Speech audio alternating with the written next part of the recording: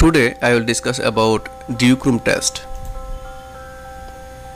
This is an subjective test used to identify monocular spherical endpoint in subjective refraction with the aim of keeping accommodation balanced or relaxed. In duochrome chart, letters on green background and letters on red background are there. Now, principle of duochrome test. This test is based on chromatic aberration of the eyes. In chromatic aberration, rays with shorter wavelength focus in front and rays with larger wavelength focus behind the focal point. Green light has shorter wavelength than red light due to which green rays focus in front of red rays. In myopia, due to increased converging power, red rays fall closer to retina and seen clearer than green. And in hyperopia, green is seen clearer than red.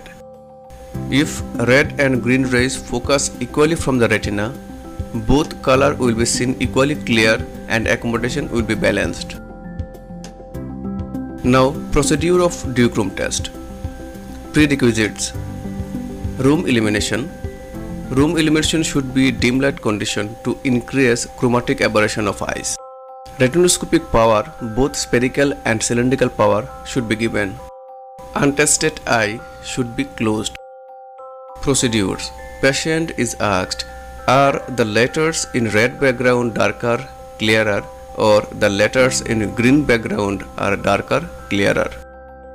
If patient response is the letters in green background are darker, clearer, then keep at plus 0.25 diopter spherical step until letters on the red-green chart appears equally dark, clear or when a reversal occurs.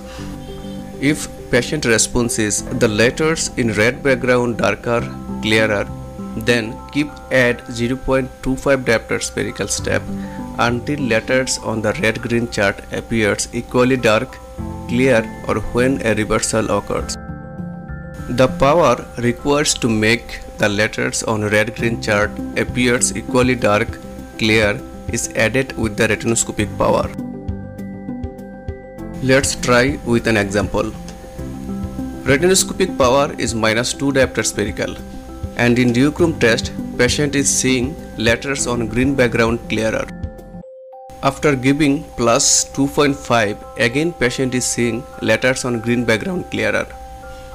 Then after giving further plus 0.25 total plus 0.5 letters on both background are equally clear.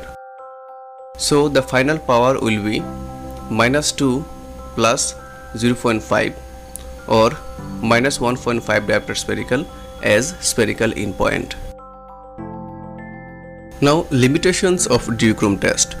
Reliability if more than plus minus 0.5 diopter spherical is required to balance, then this test is not reliable. Eyes may accommodating, which indicates to do cycloplegic refraction.